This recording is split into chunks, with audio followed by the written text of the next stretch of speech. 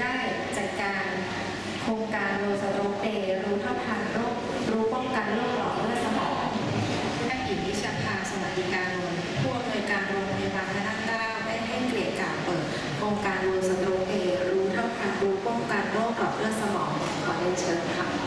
ค่ะเรียนท่านรองผู้การฝ่ายการแพทย์ท่านรองผู้การฝ่ายการพยาบาลท่านท่านประธานสวิตแพนหลอดเลือดสมองนะคะเราคิดว่า จะเป็นจะได้มีโอกาสทำบุญร่วมกันกับเจ้าหน้าที่โรงพยาบาลคุณหมอและพยาบาลในการแชร์ประสบการณ์ ในการมอบประสบการณ์ดีๆ ที่ที่เราเคยเป็น แล้วเราทำไงถึงหาย เราวันนี้เน้นทุกมิติทั้งทั้งเรื่องการป้องกัน การรักษา การส่งเสริมแล้วการฟื้นฟูแล้วก็การสุดสำคัญที่สุดการสื่อสาร ไปสมควรแล้วนะคะก็ขออนุญาตเปิดนะคะโครงการ World Stroke Day รู้เท่าทันอ่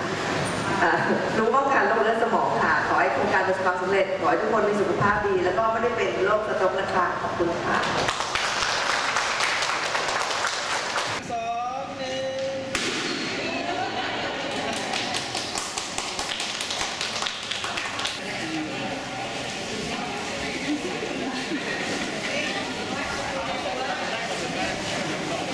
ก็จะมีในเรื่องของการออกกำลังกายนะคะผู้ป่วยหลอดเลือดสมองนะคะเราจะเน้นในเรื่องของการให้ความแข็งแรงแล้วก็เพื่อการสนับสนุนให้กับคนไข้นะคะโดยจะเน้นออกกำลังกายหลังผ่าตัด มีอัตราการสำเร็จหายกี่เปอร์เซ็นต์ ฟังเข็มคอร์สหนึ่งใช้เวลา